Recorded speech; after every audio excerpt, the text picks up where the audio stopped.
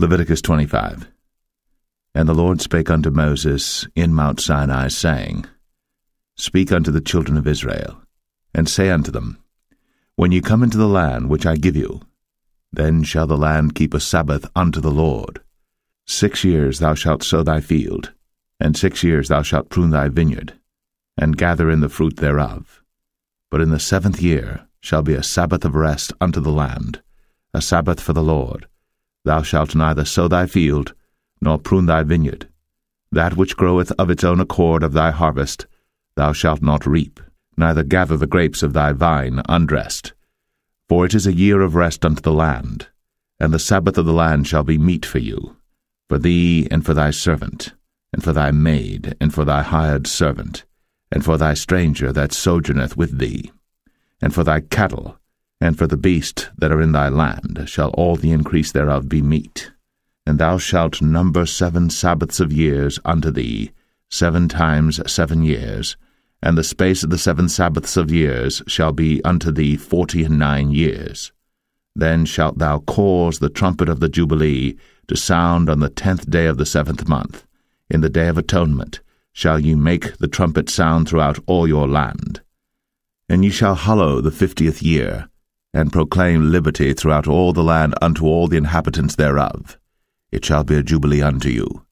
And ye shall return every man unto his possession, and ye shall return every man unto his family. A jubilee shall that fiftieth year be unto you. Ye shall not sow, neither reap that which groweth of itself in it, nor gather the grapes in it of thy vine undressed. For it is the jubilee. It shall be holy unto you. Ye shall eat the increase thereof out of the field. In the year of this Jubilee ye shall return every man unto his possession. And if thou sell aught unto thy neighbour, or buyest aught of thy neighbour's hand, ye shall not oppress one another. According to the number of years after the Jubilee, thou shalt buy of thy neighbour, and according unto the number of years of the fruits he shall sell unto thee. According to the multitude of years, thou shalt increase the price thereof and according to the fewness of years thou shalt diminish the price of it, for according to the number of the years of the fruits doth he sell unto thee. Ye shall not therefore oppress one another, but thou shalt fear thy God, for I am the Lord your God. Wherefore ye shall do my statutes, and keep my judgments, and do them. And ye shall dwell in the land in safety, and the land shall yield her fruit, and ye shall eat your fill, and dwell therein in safety. And if ye shall say, What shall we eat the seventh year?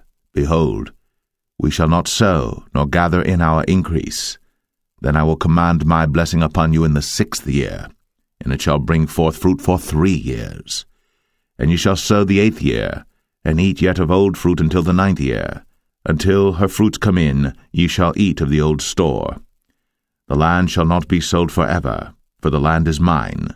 For ye are strangers and sojourners with me and in all the land of your possession ye shall grant a redemption for the land. If thy brother be waxen poor, and hath sold away some of his possession, and if any of his kin come to redeem it, then shall he redeem that which his brother sold.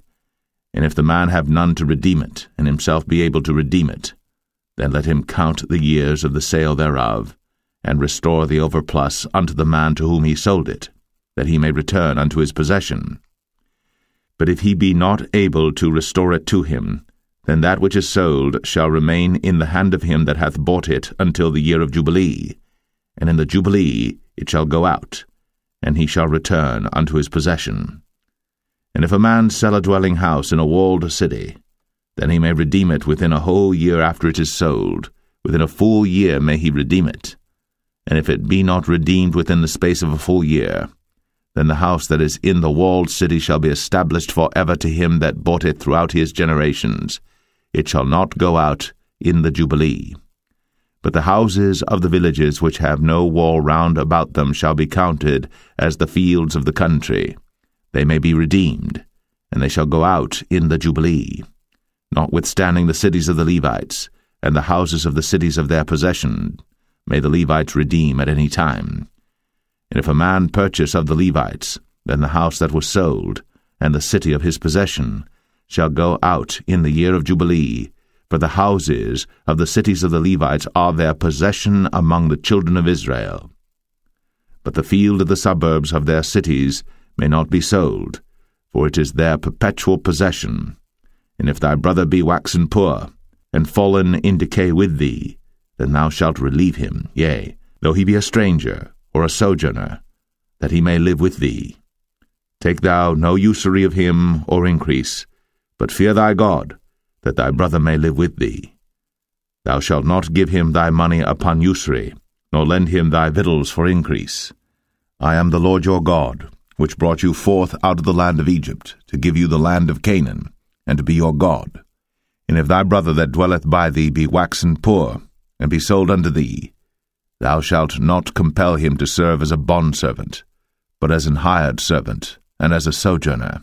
He shall be with thee, and shall serve thee unto the year of Jubilee. And then shall he depart from thee, both he and his children with him, and shall return unto his own family, and unto the possession of his fathers shall he return. For they are my servants, which I brought forth out of the land of Egypt. They shall not be sold as bondmen.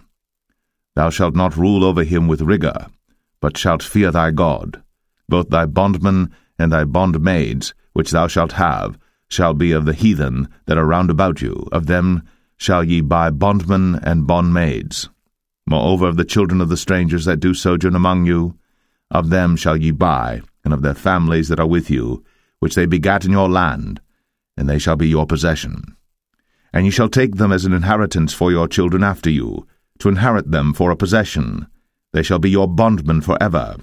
But over your brethren, the children of Israel, Ye shall not rule one over another with rigour.